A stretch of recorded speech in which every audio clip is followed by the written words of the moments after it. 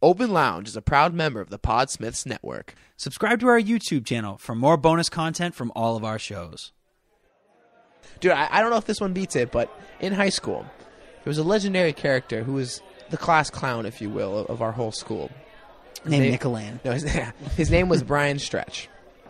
And I, I like him so yeah, far. Yeah, he's got a fucking great name. And he I remember him doing some eBay stuff back in its its infancy, if you will. And he sold a ghost in a jar. Oh my god. Yeah, yeah. He sold a glass jar with a cork on it. And the description was like, my house was haunted with a ghost in the attic, but I managed to fucking like capture it in this bottle. You, you, you can now buy it now for two hundred fifty dollars. Oh my god. And he had like the PayPal credit card, like back in the day when it was like almost a fucking you know joke to get it because you get like the debit card, so your PayPal money would like stay within PayPal and shit like that. yeah, yeah, yeah, yeah. And, no. and he had like the uh, yeah, copy that, of the check, does not the check like receipt. anymore. Yeah, he sold a ghost in a bottle for two hundred fifty bucks.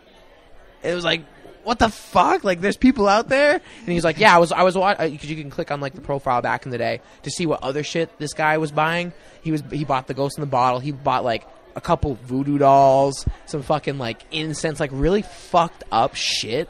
And this guy was like, I, and so Brian was like, I don't fucking know what. What this guy's doing, but I made 250 bucks off of him. I, I don't know if this is some like homicidal fucking maniac, like snatching up all this awkward eBay bullshit. He's just trying to snort the ghost. His name is Peter Venkman, 31. Yeah, yeah, that is his user account. He's just, he's just, he's like he's trying to snort coke with a uh, with a uh, toilet paper roll. He's just trying to snort the ghost. Whoa, just fucks him up. oh, I can fly, and that was Jumps how out the window. Yeah, exactly, and that's how people with uh, who with the serious World of Warcraft problem. That's the go-to. that one the fucking window and die. Chinaman that jumped out the window. There, there are some weirder stories than that. What? fr- from that game? World of Warcraft? Yeah, they're like people just like well, not Shoe weird, shit not in socks. Have you heard that that one?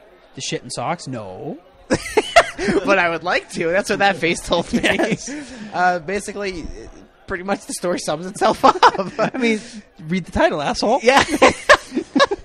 I mean, what did I just say? you know, I, there's no punchline there. th- you really just sh- they, they, like multiple times or like what, give what me- is give me what the is deets, the give me well, the like deets. if he's got like a stomach bug that could be a really messy endeavor is he just like is he squatting he's squatting at his computer and just like putting in a sock and what throwing it out the window yeah, I think see that's the beautiful that's the beautiful part about a toilet you just click the little you just push the little lever and it goes away. flush and it goes away But you have to leave the room. Ma!